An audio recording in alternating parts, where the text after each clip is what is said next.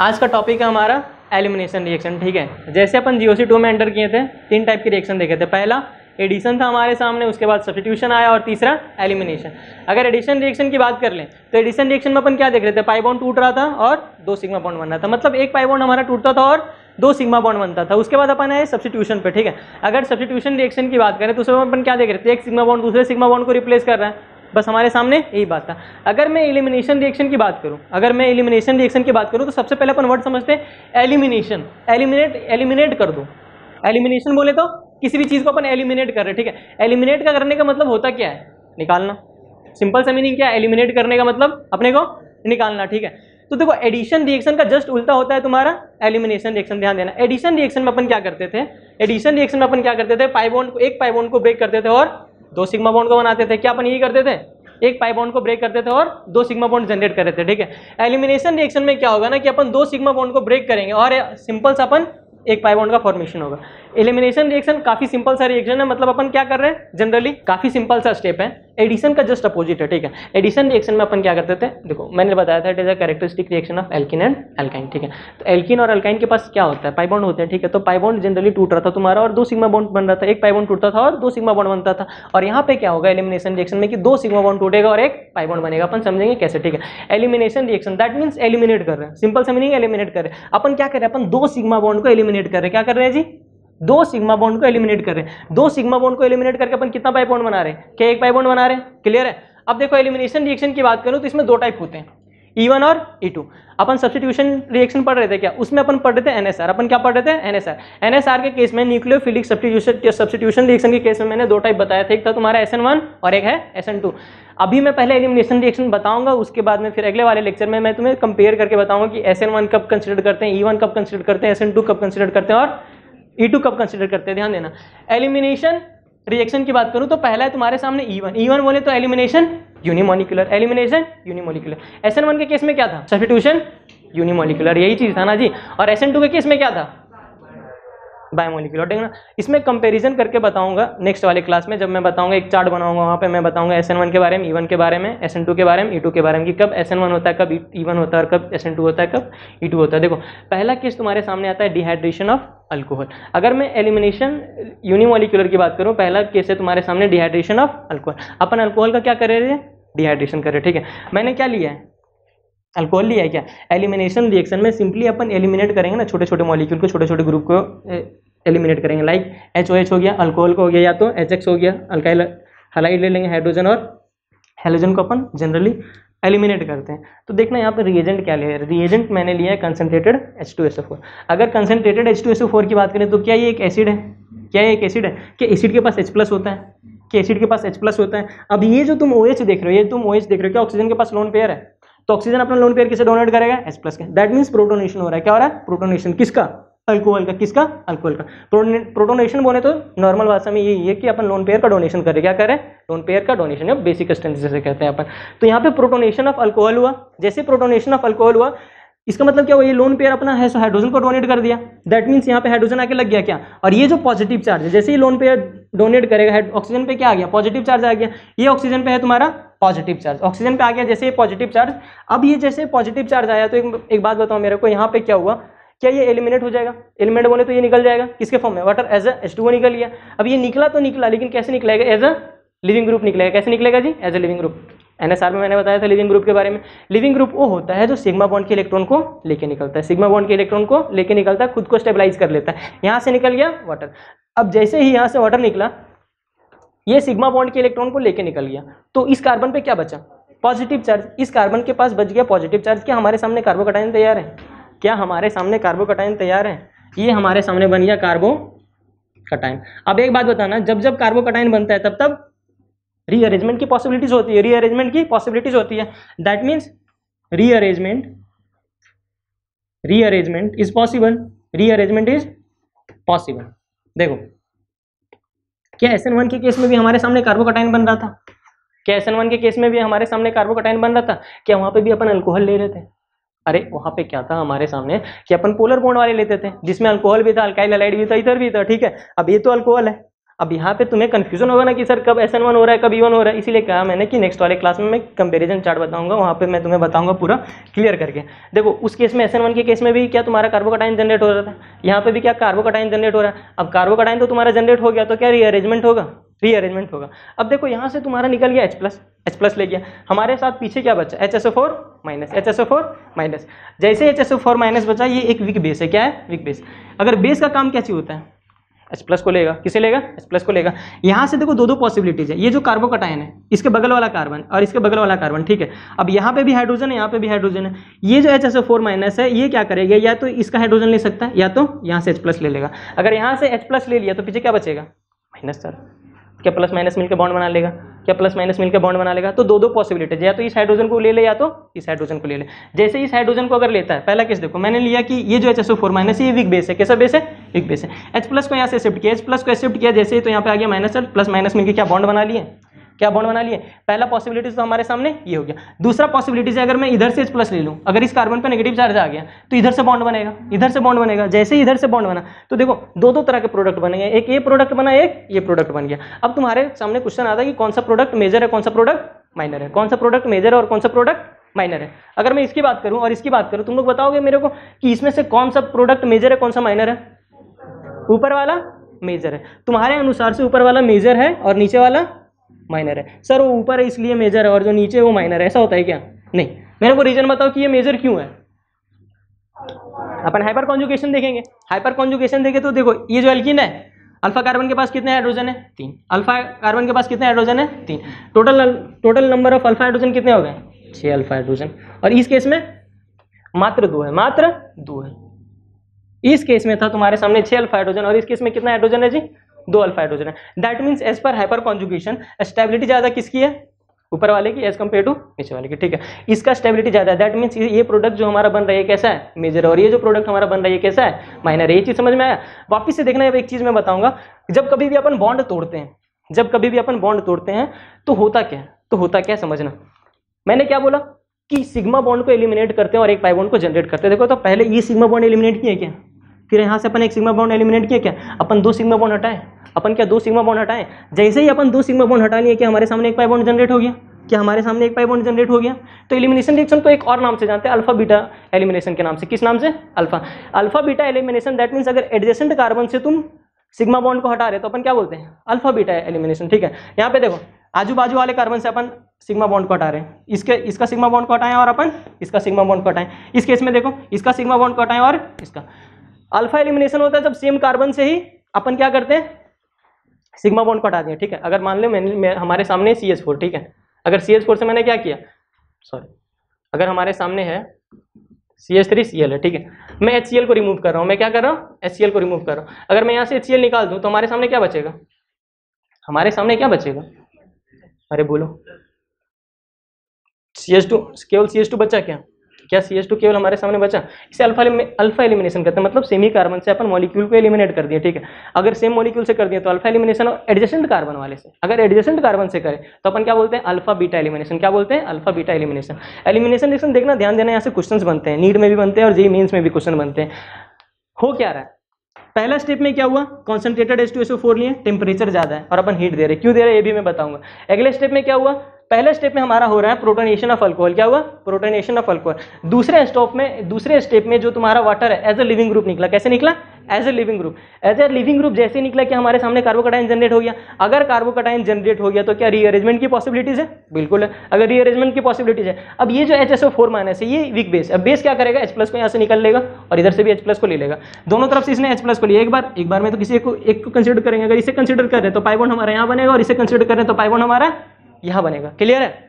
हमारे सामने प्रोडक्ट तैयार है। तुमने बोला कि मेजर ऊपर वाला है सर और माइनर नीचे वाला है। किस बिहा पे बोले, इस बिहा पे कि इसके पास नंबर ऑफ़ अल्फ़ा हाइड्रोजन ज़्यादा और इसके पास नंबर ऑफ़ अल्फ़ा हाइड्रोजन कम है। यहाँ तक क्लियर है? अब मेरे को बताना कि इस केस में, इस मैकेनिज्म में आरडीएस कौन सा स्टेप है? पहला स्टेप या दूसरा स्टेप मैंने पूछा कि आरडीएस कौन सा स्टेप है? मैंने पूछा कि आरडीएस कौन सा स्टेप है, ठीक है? बहुतों ने बोला कि, सर फ़र्स्ट स्टेप हमारा आरडीएस है। क्योंकि यहाँ पे ये न्यूट्रल था और यहाँ पे ऑक्सीजन पे क्या गया? पॉजिटिव चार्ज आ गया। पॉजिटिव चार्ज आ गया तो क्या हुआ? इसका ऑक्टेट तो कंप्लीट है। दिख रहा है? ऑक्सीजन के पास क्या दो लोन पेयर होता है? एक ही लोन पेयर ना दिया है। एक तो इसके पास बचा हुआ है। एक तो इसके पास बचा हुआ है। तीन सिग्मा बॉन्ड छह इलेक्ट्रॉन और एक लोन पेयर कितना हो गया? ऑक्टेट तो कंप्लीट है। पॉजिटिव चार्ज है तो क्या ऑक्टेट तो कंप्लीट है। अगर ऑक्सीजन का ऑक्टेट ही नहीं कंप्लीट होता तो ये कभी भी अपने आप को पॉजिटिव चार्ज आने देता। पता चुका हूँ ना? जीओसी फ़र्स्ट में। ध्यान देना। अब यहाँ पे क्या हुआ? ये भी स्टेबल था, ये भी स्टेबल था। जैसे ही as a water leaving group निकल गया, क्या बना? कार्बोकटाइन अब देखना ऑक्टेट कंप्लीट रहा या ऑक्टेट इनकम्प्लीट हो गया। अरे क्या हुआ? इनकम्प्लीट हो गया क्या? अगर ऑक्टेट इनकम्प्लीट हो गया दैट मीन्स ये इनस्टेबल हो गया। तो ये स्टेप तुम्हारा क्या हो गया? आरडीएस कितनों को समझ में आया कि ये स्टेप आरडीएस क्यों हुआ? कार्बोकटाइन बन रहा है ना ऑब्वियस है, कार्बोकटाइन बन रहा है भाई। अगर कार्बोकटाइन बन रहा है तो कार्बोकटाइन का मतलब क्या चाहिए? इलेक्ट्रॉन डेफिशिएंट एटम है। इलेक्ट्रॉन डेफिशिएंट एटम है तो एज कंपेयर टू ये ज़्यादा ये अनस्टेबल होगा और ये स्टेबल होगा। समझ में आया? तो आरडीएस हो गया ये तुम्हारा स्लोवेस्ट स्टेप क्या हो गया? स्लोवेस्ट स्टेप तो आरडीएस सेकंड स्टेप है, ना कि पहला स्टेप ना कि पहला स्टेप अब ध्यान देना, इस रिएक्शन में हो क्या रहा है? इस रिएक्शन में हो क्या रहा है? अपन बॉन्ड को तोड़ रहे हैं। जब मैंने रिएक्शन यूसी फ़र्स्ट स्टार्टिंग में पढ़ाया था तो मैंने बोला था कि कोई भी रिएक्शन होता है तो बॉन्ड टूटता है और बॉन्ड बनता है। The broking the breaking of all bond and formation of new bond is known as reaction ठीक है। सिंपल सा अपना ये मीनिंग था। मतलब पुराने रिश्ते टूटते और नए रिश्ते बनते। पुराने रिश्ते टूटते और नए रिश्ते बनते। अब देखो, अपन बॉन्ड को तोड़ रहे हैं। अपन सिग्मा बॉन्ड को तोड़ रहे हैं। और पाई बॉन्ड बना रहे क्या बना रहे पाई बॉन्ड बना रहे ये था सिग्मा बॉन्ड इसे अपन ने तोड़ा और क्या बनाया जी? पाई बॉन्ड अब सिग्मा बॉन्ड ज़्यादा स्ट्रॉगर या पाई बॉन्ड ज़्यादा स्ट्रॉन्गर सिग्मा बॉन्ड केवल मैं बॉन्ड की बात कर रहा हूँ। पूरे मॉलिक्यूल पूरे कंपाउंड की बात नहीं कर रहा हूँ। सिग्मा बॉन्ड ज़्यादा स्ट्रॉन्गर होता है as compare to pi bond ठीक है? मतलब तुम क्या कर रहे हो? स्टेबल से अनस्टेबल चीज़ बना रहे हो। तुम क्या कर रहे हो? स्टेबल से? अनस्टेबल चीज़ बना रहे हो। अगर तुम स्टेबल से अनस्टेबल चीज़ बनाओगे तो क्या होना चाहेगा? कोई भी चीज़ स्टेबल से अनस्टेबल होना चाहता है क्या? नहीं, अपने को एनर्जी देनी पड़ती है। अपने को क्या करना पड़ता है? एनर्जी देना पड़ता है, ठीक है? अगर एनर्जी दे रहे हैं, अगर एनर्जी दे रहे देखो मैंने हाई टेम्परेचर रखा है। मैं कौन सा एनर्जी दे रहा हूँ? हीट एनर्जी दे रहा हूँ। कौन सा एनर्जी दे रहा हूँ? हीट एनर्जी और कभी भी रिएक्शन में अगर तुम एनर्जी दे रहे हो दैट मीन्स प्रोसेस क्या होगा जी? एंडोथर्मिक क्या होगा? प्रोसेस क्या होगा? एंडोथर्मिक मतलब हाई टेम्परेचर पे अगर तुम रिएक्शन करा रहे हो, सर, देखो, कोई भी रिएक्शन हो, कोई भी रिएक्शन हो तो अपन कैसे होता है कि अपन एनर्जी देते हैं बॉन्ड तोड़ने के लिए। तो बॉन्ड बनता भी तो है। तो बॉन्ड अगर टूट रहा है, अगर बॉन्ड टूट रहा है ब्रेकिंग ऑफ़ बॉन्ड एंडोथर्मिक होता है और फॉर्मेशन ऑफ़ बॉन्ड एक्सोथर्मिक होता है, ठीक है? तो हर एक रिएक्शन में बॉन्ड बनते भी और बॉन्ड टूटते भी। डिपेंड करता है कि अगर अपन एनर्जी ज़्यादा दे दिए, अपन एनर्जी ज़्यादा दे दिए तो क्या होगा? एंडोथर्मिक और अगर बनने के बाद एनर्जी ज़्यादा रिलीज़ हो गया तो प्रोसेस क्या होगा? एक्सोथर्मिक क्लियर है? प्रोसेस क्या होगा? एक्सोथर्मिक देखना एंडोथर्मिक ये चीज़ समझ में आया? मतलब डेल्टा डेल्टा एच क्या हो गया तुम्हारा? ग्रेटर देन ज़ीरो घबराने वाली बात नहीं है थर्मोडाइनमिक में पढ़ोगे फिजिक्स में भी पढ़ोगे और केमिस्ट्री में पढ़ोगे फ़िज़िकल केमिस्ट्री में. प्रोसेस क्या हो गया जी? एंडोथर्मिक देखना ब्रेकिंग ऑफ़ बॉन्ड एंडोथर्मिक होता है. कभी भी किसी का ब्रेकअप करवाना. नॉर्मली क्या करना? ब्रेकअप कराना. तो अपने को एक्सटर्नल फैक्टर होगा ना? अपने को तो एनर्जी देना पड़ेगा. अपने को एनर्जी देना पड़ेगा. मतलब कुछ ना कुछ तो कांड करना पड़ेगा उसके साथ, ताकि टूट जाए, ताकि कट जाए। अब यहाँ पे क्या हो रहा है? तुम्हें ब्रेकअप करवाना है तो तुम बॉन्ड को क्या तोड़ रहे हो? सिंपली तोड़ रहे हो। तो बिना एक्सटर्नल फैक्टर के करोगे? बिना एक्सटर्नल फैक्टर के करोगे? तो एक्सटर्नल फैक्टर क्या है तुम्हारा? एक्सटर्नल फैक्टर क्या है यहाँ पे? मैंने एनर्जी दिया क्या? तभी ना बॉन्ड टूटा। स्टेबल से कोई भी चीज़ अनस्टेबल नहीं होना पड़ेगा। मतलब कोई एक्सटर्नल फैक्टर तो लगेगा। कोई तो अरे कोई भी, अगर कोई भी चीज़ रेस्ट में हो है तब तक वो मौसम में नहीं आता, जब तक अपन उसमें एक्सटर्नल फैक्टर नहीं दे देते, ठीक है? अपन तुम लोग क्या है कि शांति से क्लास में सबको बैठे हुए बहुत अच्छे से बैठे हुए सारे को स्टेबल हो। कैसे स्टेबल हो? स्टेबल हो। जैसे ही भूकंप आओगे, पूरा फ्लोर नीचे गिर जाएगा, ठीक है? अपन क्या हो जाएँगे? अनस्टेबल हो जाएँगे। तो क्या एक्सटर्नल फैक्टर के प्रेजेंस में हुए? तो कोई भी चीज़ स्टेबल को अपन अनस्टेबल करना तो अपन क्या करेंगे? एक्सटर्नल फैक्टर का यूज़ करते हैं, ठीक है? एक दो और एग्ज़ाम्पल है, लेकिन बताना सही नहीं है। देखना। बहुत एक्सपीरियंस है मेरे को। अपन क्या करते हैं? हीट एनर्जी दे रहे ठीक है। तो ब्रेकिंग ऑफ़ बॉन्ड कभी भी बॉन्ड तोड़ना हो तो प्रोसेस एंडोथर्मिक होता है, लेकिन यही रीजन है कि अगर बॉन्ड टूट रहा है तो बॉन्ड बंद भी तो रहा है। तो मैंने क्या बोला कि जो बॉन्ड बन रहा है, ये बॉन्ड वीक बॉन्ड है। कैसा बॉन्ड है? वीक बॉन्ड है। अगर वीक बॉन्ड है तो हमारी हमें क्या करना है? ये अनस्टेबल होना नहीं चाहेगा तो अपने को तो ज़बरदस्ती कराना पड़ेगा। अपन क्या करेंगे? एक्सटर्नल एनर्जी देंगे, ठीक है? एक्सटर्नल एनर्जी किस फॉर्म में दे रहे जी? हीट के फॉर्म में, ठीक है? हाई टेम्परेचर पर रिएक्शन होगा। कभी भी अगर रिएक्शन एंडोथर्मिक होता है दैट मीन्स हाई टेम्परेचर पे हो रहा है। किस पे हो रहा है? हाई टेम्परेचर पर हो रहा है। ये चीज़ समझ में आया? एंडोथर्मिक वाला। और एंडोथर्मिक के लिए डेल्टा इज़ पॉजिटिव होता है इनथेल्पी बोले तो। क्या होता है? इनथेल्पी ठीक है? अब बाकी और भी चीज़ होता है। इंट्रोपी होता है गिब्स फ्री एनर्जी होता है। पढ़ोगे थर्मोडाइनमिक में पूरा डिटेल में फ़िज़िकल केमिस्ट्री में। मेरा काम केवल इतना ही था कि तुम्हें ये बता दूँ कि प्रोसेस एंडोथर्मिक है या एक्सोथर्मिक ये चीज़ समझ में आएगा ब्रेकिंग ऑफ़ बॉन्ड क्या चाहिए होता है जी? एंडोथर्मिक क्या? और फॉर्मेशन क्या चाहिए होता है? एक्सोथर्मिक अब हर एक, अब मैंने बार बार वही चीज़ में क्या रिपीट करूँ? कि बॉन्ड अगर बनता भी है तो टूटता भी है, ठीक है? टूटता है तो बनता भी है तो दोनों प्रोसेस होना चाहिए नहीं। अगर हीट ज़्यादा हो रहा है, अगर हीट एब्जॉर्ब कर रहा है, अगर हीट एब्जॉर्ब कर रहा है तो एंडोथर्मिक होगा, और हीट अगर रिलीज़ कर रहा है तो क्या होगा? एक्सोथर्मिक क्लियर हुआ? ये चीज़ इंपॉर्टेंट था कि आरडीएस कौन सा स्टेप आरडीएस पहला स्टेप नहीं है, कौन सा है? दूसरा स्टेप क्योंकि यहाँ बन रहा है कार्बोकटाइन अगर कार्बोकटाइन बन गया तो रीअरेंजमेंट हो गया। जैसे रीअरेंजमेंट हो गया रीअरेंजमेंट क्यों करता है कार्बोकटाइन खुद को और भी ज़्यादा स्टेबल करने के लिए। तो खुद को तो और ज़्यादा स्टेबल करना ही चाहेगा। अब यहाँ पे देखो, अगर एलिमिनेट हो गया ये वाला भी सिग्मा बॉन्ड दो सिग्मा बॉन्ड टोटल एलिमिनेट हुआ, पहला ये और दूसरा ये बन गया। ये मेजर कहलाया क्योंकि हाइपर कॉन्जुगेशन की वजह से इसके पास अल्फ़ा हाइड्रोजन ज़्यादा और इसके पास अल्फ़ा हाइड्रोजन कम है। समझ में आ गया एलिमिनेशन रिएक्शन किसे कहते हैं? किस कीड़े का नाम है? पक्का? क्लियर है? चलो नोट कर लो। अब मैं रिएक्टिविटी टुवर्ड डिहाइड्रेशन की बात करता हूँ। किसकी बात कर रहा हूँ? रिएक्टिविटी टुवर्ड डिहाइड्रेशन चलो देखते हैं। अगर मैं लिखूँ तुम्हारे सामने, देखो, कितने स्टेप का मैकेनिज्म है? एक से ज़्यादा स्टेप का मैकेनिज्म ये चीज़ क्लियर हो गया? प्रोसेस कैसा है तुम्हारा? सॉरी आरडीएस कौन सा स्टेप है? सेकेंड प्रोसेस कैसा है? एंडोथर्मिक है? ये चीज़ भी क्लियर हो गया, पक्का? अगर, अब इस चीज़ को मैं पॉइंट में करवाऊँ या ध्यान में रहेगा ये समझ गए? अगर हाई टेम्परेचर कभी भी रिएक्शन अगर हाई टेम्परेचर पे होता है तो प्रोसेस एंडोथर्मिक होता है। क्या होता है? एंडोथर्मिक मतलब एनर्जी दे रहे हैं। ये सिंपली समझो, अगर बॉन्ड को ब्रेक कर अपन बॉन्ड को कोई भी ये कार्बन है ये कार्बन है ये ये बॉन्ड को ब्रेक कर रहे हैं, ठीक है? बॉन्ड को जब भी ब्रेक कर रहे हैं तो देखो, ध्यान में कैसे रखोगे? एंडोथर्मिक क्या चाहिए होता है? एंडोथर्मिक एंड का मतलब क्या चाहिए होता है? एक्चुअली एंडो बोलते हैं, ठीक है? एंडोथर्मिक की अगर मैं बात करूँ ना तो एंडो का मतलब होता है विदिन और थर्मिक का मतलब होता है एनर्जी या हीट के लिए, ठीक है? थर्मिक का मतलब है। तो यहाँ पे क्या करते हैं? विदिन मतलब अपन देते हैं एनर्जी ठीक है? और एक्जोथर्मिक की बात करूँ ना तो एक्जो का मतलब होता है आउट और थर्मिक बोले तो एनर्जी कौन सा एनर्जी हीट एनर्जी ठीक है? अब यहाँ पे कैसे हो रहा है? एक्सो का मतलब आउट मतलब एनर्जी रिलीज़ हो रहा है। क्या हो रहा है? रिलीज़ अब बॉन्ड ब्रेकिंग और बॉन्ड फॉर्मेशन अगर तुम भूल जाओ तो कैसे ध्यान में रखोगे? अपन तोड़ रहे हैं। अगर बॉन्ड तोड़ रहे हैं, ध्यान में रखने का तरीका बता रहा हूँ। अगर बॉन्ड तोड़ रहे हैं बॉन्ड को ब्रेक कर रहे दैट मीन्स क्या बॉन्ड का अपन एंड कर रहे हैं? तो प्रोसेस क्या होगा? ध्यान में रखने का तरीका, कोई कॉन्सेप्ट नहीं, कोई कॉन्सेप्ट नहीं है। एक्चुअली एंडो का मतलब क्या होता है? विद इन मतलब अपन एनर्जी वहाँ दे रहे हैं। अपन एनर्जी वहाँ दे रहे अब रिएक्टिविटी की तरफ़ बढ़ते हैं अपन। कोई भी मैं रिएक्शन बताऊँ कोई भी मैं रिएक्शन बताऊँ उसका जो सबसे इंपॉर्टेंट पॉइंट निकल के आता है ना यही रहता है। रिएक्टिविटी उसका क्या है? उसका रिएक्टिविटी क्या है? अब अपन कुछ क्वेश्चन करते हैं और क्वेश्चन तुम्हारे सामने ये है कि तुम्हें कंपेयर करना है रिएक्टिविटी टुवर्ड डिहाइड्रेशन ठीक है? अगर मैं तुम्हें क्वेश्चन दूँ तो देखते जाना। देखना इस क्वेश्चन को देखना। नोट करना सब बंद करो। नोट करना सब बंद करो और सुनो। एक क्वेश्चन को मैं समझा रहा हूँ बाकी जो दूँगा तुम लोग बनाना। ये ओ है क्या? अपन ओ हटा के क्या जनरेट करे थे? कार्बोकटाइन जनरेट करे थे? क्या हमारा कार्बोकटाइन यहाँ जनरेट हुआ? अगर कार्बोकटाइन यहाँ पे हमारा जनरेट होता है तो हमें कितना अल्फ़ा हाइड्रोजन मिल रहा है देखना। पहले अपन अल्फ़ा हाइड्रोजन देखें या पहले अपन कार्बोकटाइन को रीअरेंज करके उसका और स्टेबिलिटी देख लें। रीअरेंज करके पहले स्टेबिलिटी देखेंगे। यहाँ जैसे ही तुम्हारा कार्बोकटाइन बन रहा है, जैसे ही तुम्हारा कार्बोकटाइन बन रहा है, हमें एक अल्फ़ा हाइड्रोजन मिल रहा है। कितना अल्फ़ा हाइड्रोजन मिल रहा है? एक अल्फ़ा हाइड्रोजन क्या ये कार्बोकटाइन रीअरेंज करके अपन यहाँ ला सकते हैं? हमें तो बनाना है अल्किन हमें बनाना है अल्किन लेकिन अल्किन बनाने से पहले अपन मोस्ट स्टेबल कार्बोकटाइन बनाएँगे। क्या बनाएँगे? मोस्ट स्टेबल कार्बोकटाइन बनाएँगे।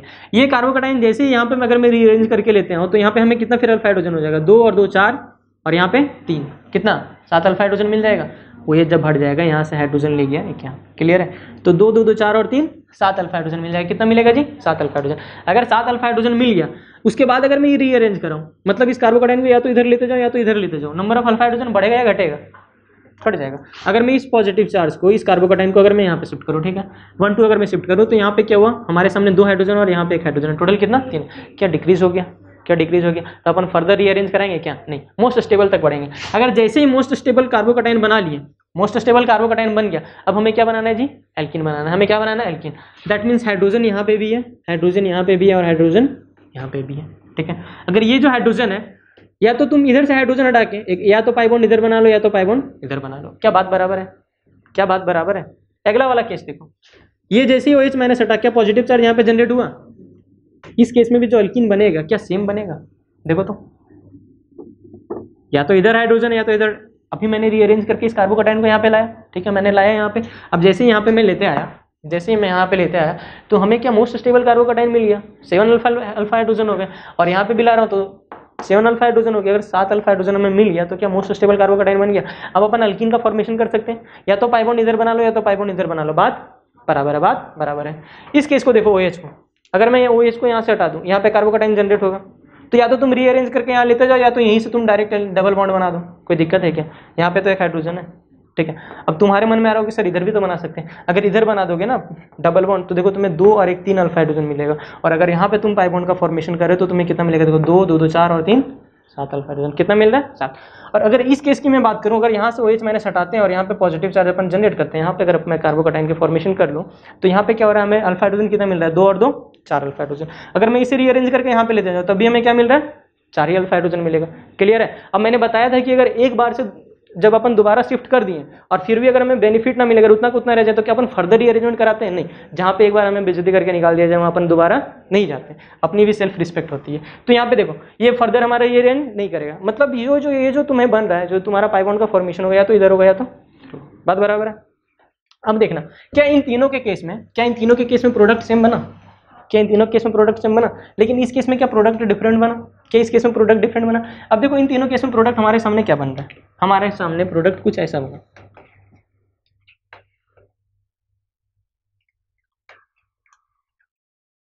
क्या हमारा ये प्रोडक्ट था? पक्का? और इस केस में देखो प्रोडक्ट क्या बना? इस केस में हमारे सामने प्रोडक्ट बना कुछ ऐसा।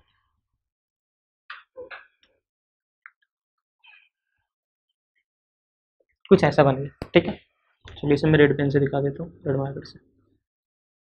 हमारे सामने है ये पाइबोन अब इस केस में देखना नंबर ऑफ़ अल्फ़ा हाइड्रोजन कितने हो गए? दो हाइड्रोजन यहाँ है, दो हाइड्रोजन यहाँ है, चार और तीन, सात। इस केस में हमारे सामने सेवन अल्फ़ा हाइड्रोजन समझते जाना समझते जाना, ठीक है?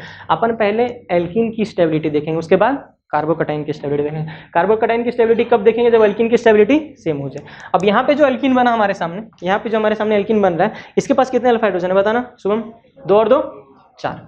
इस केस में हमारे सामने है चार अल्फ़ा हाइड्रोजन ठीक है? यहाँ पे चार अल्फ़ा हाइड्रोजन यहाँ पे सात हाइड्रोजन सात अल्फ़ा हाइड्रोजन ये तो तुम्हें समझ में आएगा कि ये तीनों की रिएक्टिविटी टुवर्ड डिहाइड्रेशन ज़्यादा है एज कंपेयर टू दिस ठीक है? मतलब ये ए है ये बी है ये सी और ये डी है। तो कंपेयर करके अगर मैं लिखूँ तो ए बी और सी इन सबका ज़्यादा है किनसे जी? डी इन सबका ज़्यादा है डी से। क्लियर हुआ? अब अपन देखते हैं कि इसमें जो प्रोडक्ट बना, इसमें जो प्रोडक्ट बना और जो इसमें प्रोडक्ट बना, क्या प्रोडक्ट तीनों सेम हो गया? क्या स्टेबिलिटी ऑफ़ एल्किन भी सेम हो गया? तब अपन क्या देखेंगे? Stability of carbocation stability of carbocation rearrange करके नहीं देखेंगे। अगर रीअरेंज करके देख लिए, मान लो यहाँ पे बना कार्बोकटाइन रीअरेंज कर दिए, ठीक है? यहाँ पे लेते हैं तो सात अल्फ़ा हाइड्रोजन इसका भी रीअरेंज यहीं पे रह गया सात अल्फ़ा हाइड्रोजन और इसका यहाँ से यहाँ रीअरेंज करके लेते हैं चाल देते हैं। ऐसा नहीं करना है। पहले जैसे जो बना कार्बोकटाइन अपन, उसकी स्टेबिलिटी देखेंगे। अपन क्या करेंगे? उसकी स्टेबिलिटी देखेंगे। तो देखना, अब शुरू से देखना। इससे मिटा रहा हूँ मैं। ये ठीक है। क्या हमारा कार्बोकटाइन यहाँ पे जनरेट हुआ? ठीक है। नंबर ऑफ़ अल्फ़ा हाइड्रोजन कितने हैं? कितने है रे?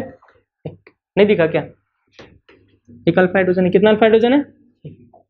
अरे बाबा, ये कार्बन चार बॉन्ड बनाया है। एक तो हाइड्रोजन से बना रखा है ना जो नहीं दिख रहा है। अब इसकी मैं बात करूँ तो देखो, दो दो दो, चार और तीन कितने अल्फ़ा हाइड्रोजन है जी? सात अल्फ़ा हाइड्रोजन और इस केस में देखो अल्फ़ा हाइड्रोजन कितना है? जैसे यहाँ से वही हटाओ यहाँ पे पॉजिटिव चार्ज है दो और एक तीन अल्फ़ा हाइड्रोजन क्या आ गया? तीन अल्फ़ा हाइड्रोजन तो सबसे पहले, अब देखो, मैंने इसलिए बोला था ना कि अगर अपन कार्बोकटाइन की स्टेबिलिटी पहले देख लेते तो यहाँ पे क्या चार अल्फ़ा हाइड्रोजन हो जाता? ठीक है? अगर ये चार अल्फ़ा हाइड्रोजन हो जाता तो इसकी स्टेबिलिटी तो ज़्यादा हो जाती इससे। इसकी रिएक्टिविटी टू डिहाइड्रेशन तो ज़्यादा हो जाती इससे। समझ में आया? ठीक है? तो इसीलिए पहले अपन क्या करेंगे मोस्ट स्टेबल अल्किन बना के देखेंगे। मोस्ट स्टेबल अल्किन जैसे ही हमने बना लिया, और अगर स्टेबिलिटी सेम हो गया अल्किन बनाने के बाद तो अपन कूदेंगे नेक्स्ट स्टेप पे स्टेबिलिटी ऑफ़ कार्बोकटाइन बिना रीअरेंज करे देखेंगे, क्या करेंगे? रीअरेंज पहला स्टेप में जहाँ पे कार्बोकटाइन बने, वहीं पे number of alpha hydrogen count करो और क्वेश्चन बना डालो। अब देखना नंबर ऑफ़ अल्फ़ा हाइड्रोजन सबसे ज़्यादा किसमें बी के केस में। उसके बाद सी के केस में फिर ए के केस में। मतलब रिएक्टिविटी टू टुवर्ड डिहाइड्रेशन का ऑर्डर क्या आ गया? सबसे ज़्यादा बी का। उसके बाद फिर फिर कितना उल्टा हो गया ना? Sir A B C D होता बी सी ए डी पढ़ा रहे हो। क्या करोगे? केमिस्ट्री कितनों को समझ में आया, कितनों को समझ नहीं आया? बताओ। जिसको नहीं समझ में आया, बताओ, उसके लिए एक सेलिब्रेशन है। अब तो बता आ गया ना सबको समझ में? सबसे पहले तुम्हें करना है कि मोस्ट स्टेबल अल्किन बना ले। अगर मोस्ट स्टेबल अल्किन बनाने के बाद स्टेबिलिटी सेम हो जाए मतलब प्रोडक्ट हमारा सेम बना तो अब अपन क्या करेंगे? स्टेबिलिटी ऑफ़ कार्बोकटाइन देखेंगे। पहला स्टेप में जहाँ पे हमारा कार्बोकटाइन बना है जस्ट वहीं पे। देखो, इस केस में अगर मैं बात करूँ, अगर ओ OH को यहाँ से मैं हटाऊँ, यहाँ पे कार्बोकटाइन जनरेट करो, ठीक है? तो मोस्ट स्टेबल अल्किन मेरा ये बनेगा, क्योंकि इसके पास तीन तीन छः और तीन नौ अल्फ़ा हो जाएँगे। क्लियर है? और इस केस में भी अगर ओ OH को यहाँ से हटाऊँ तो यहाँ पे डबल वन का फॉर्मेशन होगा, ताकि इधर तीन अल्फ़ा हाइड्रोजन तीन अल्फ़ा हाइड्रोजन और इधर भी मिल जाएगा मुझे तीन अल्फ़ा हाइड्रोजन टोटल इस केस में अगर मैं बात करूँ, अगर यहाँ पे पॉजिटिव चार्ज जनरेट होता है, देखो, यहाँ पे पॉजिटिव चार्ज आ रहा है, यहाँ पे पॉजिटिव चार्ज आ रहा है। ये जो कार्बोकटाइन है, इसके पास फ़िलहाल कितने अल्फाइड्रोजन है? दो अल्फाइड्रोजन है। अगर ये खुद को रीअरेंज करके यहाँ पे लेते आते तो इसके पास क्या मैक्सिमम नंबर ऑफ़ अल्फाइड्रोजन हो जाएँगे? क्या maximum number of alpha hydrogen हो जाएँगे। तो मोस्ट स्टेबल अल्किन ये भी यहीं पे बनाएगा, ये भी यहीं पे बनाएगा। मतलब तीनों केस में एक ही प्रोडक्ट बनेगा सेम वाला। और ये प्रोडक्ट तुम्हारा ये है। यहाँ पे आएगा तुम्हारा डबल बॉन्ड यहाँ पे आएगा तुम्हारा डबल बॉन्ड ये तीनों केस है। चाहे अगर मैं इसकी बात कर लूँ या इसकी बात कर लूँ या इसकी बात कर लूँ। हमारा जो एल्किन बनेगा वो यही बनेगा। मोस्ट स्टेबल अल्किन हमारा यही बनेगा। क्योंकि कार्बोकटाइन बन रहा है तो अपन क्या करेंगे? रीअरेंजमेंट करेंगे। मोस्ट स्टेबल अल्किन बनाना है तो हमें रीअरेंजमेंट करना ज़रूरी है। रीअरेंजमेंट अपने को करना ही करना तो इसे भी अपन रीअरेंज करेंगे। तो ये भी अगर रीअरेंज यहाँ पे करके मोस्ट स्टेबल कार्बोकटाइन लेते हैं तो ये भी सिमिलर प्रोडक्ट अपना यही बनाएगा। क्लियर हुआ? अब एल्किन तो सेम हो गया। स्टेबिलिटी ऑफ़ एल्किन तो हमारा सेम हो गया। तो अपन क्या देखेंगे? स्टेबिलिटी ऑफ़ कार्बोकटाइन जैसे ही कार्बोकटाइन जिस कार्बन पे बना, वहीं पे अपन जब अब यहाँ पे जैसे ही कार्बोकटाइन बन गया, इसके पास कितने अल्फ़ा हाइड्रोजन है? तीन इधर तीन इधर। छः और दो? मतलब इस केस में आठ अल्फ़ा हाइड्रोजन है। इस केस में देखो, तीन और एक, चार अल्फ़ा हाइड्रोजन है। तीन और एक, चार अल्फ़ा हाइड्रोजन इस केस में बताना, दो अल्फ़ा हाइड्रोजन है। कितने अल्फ़ा हाइड्रोजन है? दो अल्फ़ा हाइड्रोजन है। अब अपन स्टेबिलिटी की बात करें रिएक्टिविटी टू और डिहाइड्रेशन की बात करें तो ऑर्डर क्या जाएगा? सबसे ज़्यादा ए का। उसके बाद बी का, उसके बाद सी का। क्लियर है? इस केस को देखो। अगर मैं यहाँ से ओ एच को हटाऊँ, यहाँ क्या पॉजिटिव चार्ज जनरेट होगा? तो पाइबोन इधर बनेगा। किधर बनेगा? इधर। या तो इधर बना लो। स्टेबल हमारा इधर बनेगा। कहाँ बनेगा? इधर बनेगा। जैसे ही यहाँ पे अगर तुम बनाओगे तो देखो इसका स्ट्रक्चर क्या बनेगा। इसका स्ट्रक्चर तुम्हारे सामने कुछ ऐसा है। क्या यही बनेगा या कुछ और बनेगा? यही बना। इस केस में अगर यहाँ से मैं ओएच कोटा यहाँ पे पॉजिटिव चार्ज जनरेट करूँ तो देखो मेरा प्रोडक्ट ये बनेगा। स्टेबल प्रोडक्ट में डायरेक्टली बना रहा हूँ। ये बन गया। इस केस में अगर ओएच कोटा दो तो किधर भी डबल बॉन्ड लगा दो, या तो इधर लगा दो, या तो इधर लगा दो। इसका आंसर क्या है बताना मेरे को? हाँ? ए बी सी क्यों आएगा जी ए बी सी इस केस में देखो, ये कंपाउंड कैसा है? एरोमेटिक क्या है? और इसमें क्या रेजोनेंस हो रहा है? Pi sigma pi type of conjugation है। इसमें हो रहा है रेजोनेंस इसमें क्या रेजोनेंस हो रहा है? नहीं हो रहा। इसमें रेजोनेंस नहीं हो रहा तो स्टेबिलिटी या रिएक्टिविटी की बात करें तो मैंने ऑर्डर लिखाया था एरी एरी लगाओ आंसर पाओ। ए बोले तो एरोमेटिक ई बोले तो इक्विवेलेंट रेजोनेंस आर बोले तो रेजोनेंस उसके बाद था तुम्हारा हाइपर कॉन्जुगेशन और इंडक्टिव क्या एरोमेटिक है? सबसे ज़्यादा स्टेबल ये हो गया। सबसे ज़्यादा रिएक्टिविटी टू डिहाइड्रेशन इसकी होगी। उसके बाद रेजोनेंस वाले की और फिर बिना रेजोनेंस वाले की। समझ में आया? ये एरोमेटिक था, ये रेजोनेंस था। इसमें देखो पाई सिग्मा पाई इसमें तो रेजोनेंस नहीं हो रहा है। ये आंसर कितनों का आ गया? क्वेश्चन इंपॉर्टेंट ध्यान में रखना हाँ। एरोमेटिक वाला। आगे देखो। आगे देखो। अभी नोट करना बंद करो। सुनो सुनो सुनो। टाइम मिलेगा नोट करने के लिए। Find the product of given reaction तुम्हारे सामने रिएक्शन है, ठीक है? अपन रिएजेंट क्या लिए? तो हमारे सामने अल्कोहल है क्या? डिहाइड्रेशन अपन करेंगे। अगर concentrated H two S four तुम्हें ये टेम्परेचर मिले, ध्यान दे, इसी टेम्परेचर की मैं बात करूँ दूसरे टेम्परेचर की बात नहीं करो अगर इससे कम टेम्परेचर ले लूँ ना तो बात कुछ और हो जाएगा, बात कुछ और हो जाएगा, बताऊँगा। अब यहाँ पे concentrated H two S four ले लूँ। अरे बॉन्ड तोड़ना ना, अपने को हाई टेम्परेचर चाहिए। लो टेम्परेचर ले लेंगे तो बॉन्ड टूटेगा नहीं वैसे, और प्रोसेस हमारे एंडोथर्मिक उतना होगा नहीं। अब एक सौ साठ से एक सौ सत्तर डिग्री सेल्सियस पे हमें प्रोडक्ट बनाना है। अगर ये जो ओ एच एल्किन बनेगा ठीक है पॉसिबिलिटीज ये है कि जब तुम इसे ओएच को यहाँ से हटाओगे यहाँ पे क्या हमारा कार्बोकटाइन जनरेट हुआ अब ये तो कार्बोकटाइन इसके साथ ये जो कार्बन है यहाँ पे डबल बॉन्ड बना सकता है लेकिन इसके पास फ़िलहाल कितने अल्फ़ा हाइड्रोजन है एक कितने एक ये अगर रीअरेंज करके यहाँ पे चला जाता है तो इसके पास देखो दो दो दो चार और तीन सात अल्फ़ा हाइड्रोजन होगा कितना अल्फ़ा हाइड्रोजन होगा सात मतलब ये खुद को रीअरेंज करके यहाँ पे भी ला सकता है दूसरे पेन से डिनोट करके दिखा रहा हूँ देखो ये खुद को रीअरेंज करके यहाँ पे भी ला सकता है, ठीक है? मतलब दो तरह के प्रोडक्ट बनेंगे। एक तो यहाँ पे बन जाए और एक तरफ़ यहाँ पे बन जाए। मतलब जो पहला प्रोडक्ट हमारे सामने बनेगा, वो कुछ ऐसा बनेगा, देखो। क्या यहाँ पे पाए और एक ये बना वेट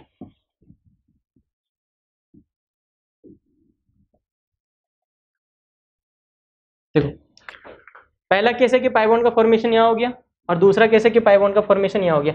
पाइबॉन्ड यहाँ तब बन रहा है जब पॉजिटिव चार्ज इसके पास इस कार्बन वाले के पास, बाहर वाले कार्बन के पास। लेकिन रिंग वाले कार्बन के पास अगर पॉजिटिव चार्ज आ जाता है तो हमारा प्रोडक्ट क्या ये बनेगा? अब इस तुम पाइबॉन्ड को या तो तुम इधर साइड दिखा सकते हो, या तो तुम इधर साइड दिखा सकते हो। इसमें देखना, इसमें नंबर ऑफ़ अल्फ़ा हाइड्रोजन कितने हैं? दो और दो, चार है। कितने हैं जी? चार। इसके पास है, चार अल्फ़ा हाइड्रोजन नहीं दिखा क्या? ये कार्बन है। बाजू वाले कार्बन के पास दो अल्फ़ा हाइड्रोजन और बाजू वाले कार्बन के पास दो अल्फ़ा हाइड्रोजन टोटल चार अल्फ़ा हाइड्रोजन हो गए इस केस में देखो, दो दो दो, चार और तीन, सात अल्फ़ा हाइड्रोजन अब एक बात बताना, इन दोनों में से कौन मेजर है और कौन सा माइनर है? हाँ? सेकेंड वाला? मेजर ये समझ में आया? ये जो बना, ये मेजर है, और तुम्हें मेजर से मतलब होना चाहिए, और ये जो बना, ये माइनर है। क्लियर है? वापिस से मैंने लिया अल्कोहल ठीक है? वापिस से मैंने अल्कोहल लिया रिएजेंट तुम्हारे सामने वही है concentrated H two S four ninety five percent लेते हैं, और तुम्हारे सामने मैंने टेम्परेचर एक दिया 160 डिग्री सेल्सियस, यहाँ डिग्री सेल्सियस से लेके 170 डिग्री सेल्सियस तक। प्रोडक्ट क्या बनेगा, देखो, क्या कार्बोकटाइन अपन यहाँ पे जनरेट कर सकते हैं? अगर यहाँ पे कार्बोकटाइन में जनरेट करूँ तो देखना नंबर ऑफ़ अल्फ़ा हाइड्रोजन कितना कितना होगा? तीन तीन छः और एक क्या सात अल्फ़ा हाइड्रोजन है? अब इसे रीअरेंज करके मैं इधर लेके जाता हूँ तो नंबर ऑफ़ अल्फ़ा हाइड्रोजन कम हो जाएगा या तो इधर लेते जाओ नंबर ऑफ़ अल्फ़ा हाइड्रोजन कम हो जाएगा। अब किसी का दिमाग में लग रहा होगा कि, सर, ये जो OH है, यहाँ पे जो पॉजिटिव चार्ज जनरेट हुआ इसे अपन रीअरेंज करके क्या इस कार्बन पे लेते जाएँ? अगर इस कार्बन के पास लेते जाओगे ना तो देखो कितना अल्फ़ा हाइड्रोजन मिलेगा? दो दो दो, चार और एक, पाँच। टोटल पाँच अल्फ़ा हाइड्रोजन मिलेगा। तो पाँच बड़ा होता है सात बड़ा होता है? अच्छा इतना पता है ना? मतलब यहाँ पे तीन अल्फ़ा हाइड्रोजन तीन अल्फ़ा हाइड्रोजन और तीन तीन छः और एक एक अल्फ़ा हाइड्रोजन टोटल सात अल्फ़ा हाइड्रोजन दैट मीन्स यहाँ पे पॉजिटिव चार्ज अपन कार्बोकटाइन यहीं पे रखेंगे क्या अपन रीअरेंज करेंगे। नहीं रीअरेंज करने से हमारी स्टेबिलिटी और भी ज़्यादा डिक्रीज हो जा रही है। अब बताना, अब जो पाइपोन का फॉर्मेशन होगा, देखो, या तो इधर हो सकता है, ऊपर वाले कार्बन के पास पॉजिटिव चार्ज को जस्ट बगल में हाइड्रोजन वाले को देखना है जस्ट बाजू वाले में हाइड्रोजन को देखना है। जहाँ पे हाइड्रोजन वहाँ पे एल्किन बना देगा। जहाँ पे हाइड्रोजन वहाँ पे एल्किन बना देगा। ये जो हाइड्रोजन अगर मैं इधर डबल बॉन्ड बना दूँ तो देखो अल्फ़ा हाइड्रोजन कितना मिलेगा? तीन और एक चार, ठीक है? अगर मैं यहाँ पे बना देता हूँ तो कितना मिलेगा? तीन और एक चार। लेकिन इसे मैं यहाँ बनाता हूँ तो देखो दो दो दो, चार, और इधर से मिल गया तीन, और इधर से मिल गया तीन। कितने होते हैं टोटल चार और छः दस होता है, इतना टाइम लगेगा बताने में। समझ में आया? या ऊपर ऊपर पार हो रहा है। नहीं ना? से कर रहा है विनीत मतलब पार हो रहा है सर चलो इसे थोड़ा स्पेस कम है यहाँ पे। हल्का सा मैं इसे नीचे ले लेता हूँ। रिएजेंट यही है अलेवन मत लिख देना तुम लोग। कोई भरोसा नहीं है। ये बन गया हमारा मेजर प्रोडक्ट देखो। ये हमारा बना मेजर प्रोडक्ट क्या बना जी? Major product number of alpha hydrogen गिनो तो तीन और तीन? छः छः और दो, आठ। आठ और दो? दस। क्या मेजर प्रोडक्ट बन गया? अगर यही पाइबॉन्ड को मैं थोड़ी देर के लिए मिटा के वापस से समझाता हूँ, देखो जिन लोगों का कन्फ्यूज़न हो रहा होगा। अगर मैं पाइबॉन्ड यहाँ बना दूँ, अब गिनो। तीन और एक, चार अल्फ़ा हाइड्रोजन ठीक है? अगर मैं इसे यहाँ से मिटा के यहाँ पे बना दूँ तो कितना हो जाएगा? तीन और एक, चार। तो हमारे पास जो मेजर प्रोडक्ट बन रहा है, वो ये बन रहा है। क्या बन रहा है? जहाँ पे नंबर ऑफ़ अल्फ़ा हाइड्रोजन ज़्यादा होगा। क्लियर है? समझ में आ गया? अगला वाला केस है। अब हाँ concentrated H two S four के साथ तुम ये ले सकते हो, या तो तुम डायरेक्टली लिख सकते हो एच प्लस के साथ, अपन हाई टेम्परेचर रखें मतलब हीट दे रहे क्या दे रहे हीट दे रहे तो रिएजेंट में तुम्हें ये भी देखने को मिल सकता है, और ये भी देखने को घबराने वाली बात नहीं। जब भी ये दिख जाए, समझ जाना एलिमिनेशन रिएक्शन होगा। क्या होगा? एलिमिनेशन इधर अल्कोहल होना चाहिए। क्या होना चाहिए? अल्कोहल देखो, जब एलिमिनेशन रिएक्शन मैंने बताया ना तो क्या हुआ? देखो। सिग्मा बॉन्ड है, ठीक है? दो अपन सिग्मा बॉन्ड तोड़े और एक पाई बॉन्ड बनाए ठीक है? मतलब अगर मान ले किधर अल्केन था मान ले किधर अल्केन था तो अपन क्या बनाए? एल्किन बनाए क्या? डबल बॉन्ड रहे तो। अगर इधर सिंगल बॉन्ड था हमारा अल्केन तो अपन अल्केन से क्या बना लिए? एल्किन बना लिए, ठीक है? और एडिशन रिएक्शन में इसी का जस्ट अपोजिट हो रहा था, ध्यान दो। एल्किन था एल्किन से अपन क्या बना लेते थे? एल्किन बना लेते थे। पाई बॉन्ड है, दो सिग्मा बॉन्ड बना ले। क्लियर है?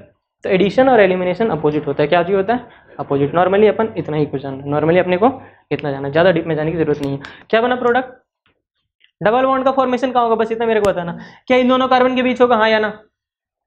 क्या इन दोनों कार्बन के बीच होगा? क्या इन दोनों कार्बन के बीच होगा?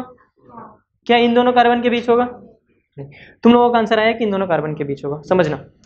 समझो समझो समझो। इसकी अगर मैं बात कर रहा हूँ, ठीक मैं इसका बात कर रहा हूँ। तुम्हारे सामने कुछ ऐसा केस आया। ये ठीक है। जैसे ही तुम हटाए यहाँ से, जैसे ही तुम यहाँ से ओएच को रिमूव करोगे, ठीक है? यहाँ पे क्या बना जी? कार्बोकटाइन ठीक है? ये जो कार्बोकटाइन बन रहा है, पहले इस चीज़ को समझो कि इस कार्बोकटाइन के पास कितने अल्फ़ा हाइड्रोजन है? दो और एक, तीन अल्फ़ा हाइड्रोजन है। कितने अल्फ़ा हाइड्रोजन है? तीन अल्फ़ा हाइड्रोजन है। लेकिन ये कार्बोकटाइन क्या रीअरेंज करके यहाँ पे भी जा सकता है। अगर यहाँ पे चला गया, अगर यहाँ पे चला गया तो देखो तुम्हारे सामने क्या बना। तुम्हारे सामने क्या बना। क्या ये पॉजिटिव चार्ज हमारे यहाँ पे आ गया? कार्बोकटाइन यहाँ पे बन गया। इस केस में नंबर ऑफ़ अल्फ़ा हाइड्रोजन कितने थे? दो और एक, तीन अल्फ़ा हाइड्रोजन है। क्लियर है? इस केस में देखो तो तीन और दो, पाँच। पाँच और दो? सात अल्फ़ा हाइड्रोजन है। बहुत सही। Number of alpha hydrogen seven आ गए। इस केस में थ्री था, इस केस में सेवन था। मतलब प्रोडक्ट हमें इसका बनाना है। अगर इसका प्रोडक्ट बनाएँगे तो देखो एक तो एक तो यहाँ या तो पाइबोन यहाँ पे आ गया, या तो पाइबोन यहाँ पे आ गया। क्लियर है? इस केस में क्या वो मोस्ट स्टेबल कार्बोकटाइन बन गया। इसे फर्दर रीअरेंज कराओ तो कोई फ़ायदा है क्या? नहीं। देखो, यहाँ पे क्या हुआ? जैसे ही मोस्ट स्टेबल कार्बोकटाइन यहाँ पे बन गया, अब तुम्हारे सामने पॉसिबिलिटीज दो दो है। दो तरह के प्रोडक्ट बनेंगे, देखो। अब देखेंगे कौन सा मेजर है और कौन सा माइनर है। कौन सा मेजर और कौन सा माइनर है? कितों को समझ में आ गया कि कौन सा मेजर और कौन सा माइनर है? दो पॉसिबिलिटी से ध्यान देना। ये जो पॉजिटिव चार्ज है, या तो पाइबॉन्ड का फॉर्मेशन इधर कर सकता है। सही है? क्योंकि एक हाइड्रोजन यहाँ पे ठीक है? एक हाइड्रोजन यहाँ से अगर ले ले तो समझ में आ गया? या तो यहाँ पाइबॉन्ड बन जाएगा। या तो तुम्हारा पाइबॉन्ड यहाँ पे बन जाएगा। या तो पाइबॉन्ड यहाँ पे बन जाएगा। अब ये पाइबॉन्ड में देखो नंबर ऑफ़ अगर मैं अल्फ़ा हाइड्रोजन की बात कर लूँ तो तीन और दो, पाँच और दो सात अल्फ़ा हाइड्रोजन है। ठीक है? बहुत लोगों ने ये चीज़ देखा होगा। और अगर मैं इसकी बात करूँ तो तीन और दो, पाँच। मात्र पाँच अल्फ़ा हाइड्रोजन है। ठीक है? अब अगर इन दोनों में से मैं पूछूँ कि मेजर प्रोडक्ट कौन सा है और माइनर प्रोडक्ट कौन सा है तो आंसर क्या जाएगा? ऊपर वाला या नीचे वाला?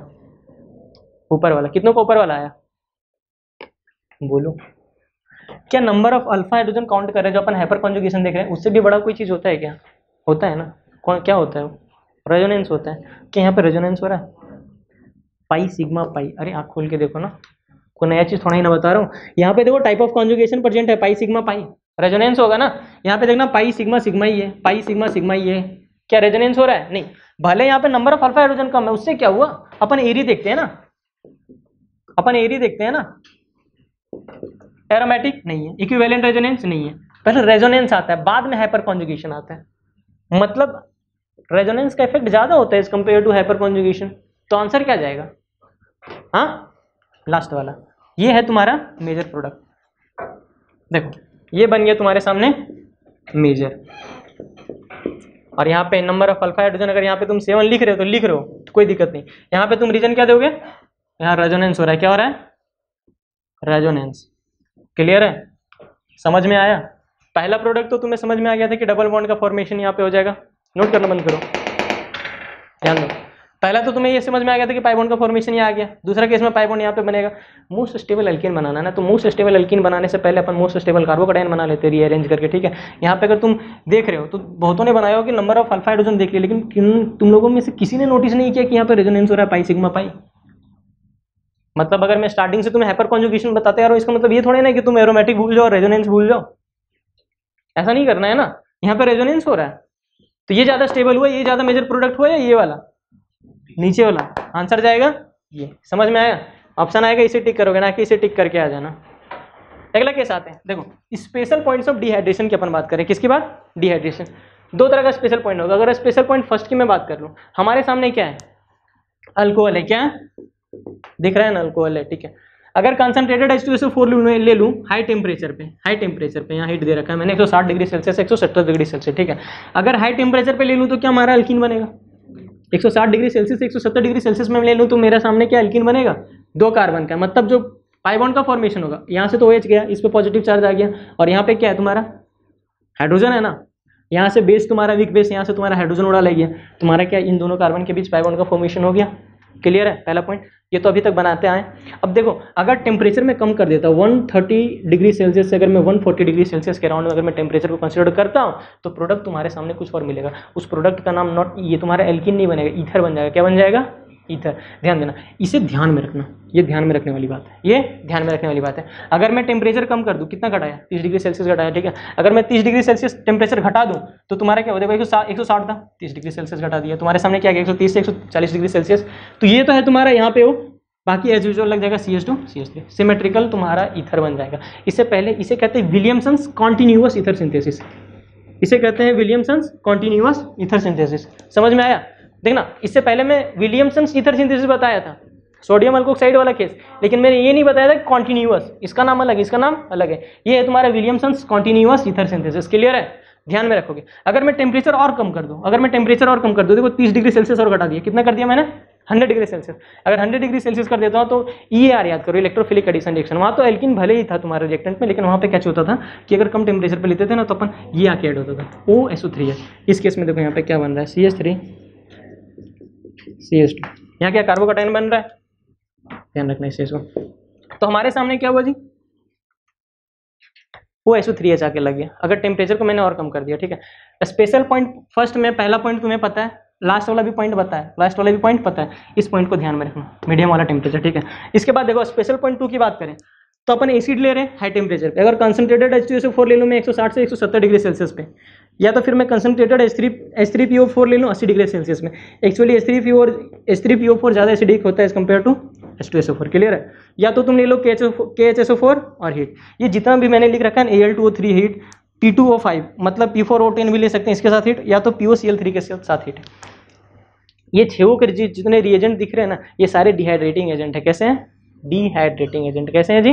डिहाइड्रेटिंग तो यहाँ पे एरो दोनों खींच के लिख सकते हो कि डिहाइड्रेटिंग एजेंट है। ध्यान देना, पहला तीन केस में पहला तीन केस में ये जो डिहाइड्रेटिंग एजेंट है, अगर मैं पहला तीन केस ले लूँ तो इन तीनों के केस में रीअरेंजमेंट होगा। और अगर तुम्हारे सामने रीअरेंजमेंट में ये प्रेजेंट है तो रीअरेंजमेंट नहीं होगा। स्पेशल पॉइंट में इस बात को केवल ध्यान में रखना कि इन तीनों केस में रीअरेंजमेंट हो रहा है, इसमें रीअरेंजमेंट नहीं हो रहा है, और एक विलियमसन्स कॉन्टिन्यूस इथर सिंथेसिस तो आज का लेक्चर में अपन क्या क्या पढ़े?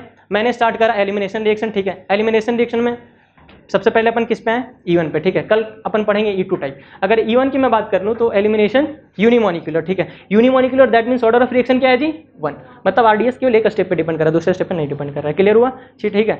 मॉलिकुलरिटी तुम्हारा, उसका वन है। ये चीज़ एस एन वन में एक्चुअली मैं हर एक चीज़ को एक्सप्लेन कर चुका हूँ तो इसीलिए मैंने ये नहीं बोला कि तुम्हारा रेट ऑफ़ रिएक्शन क्या है, क्या नहीं है। क्लियर है?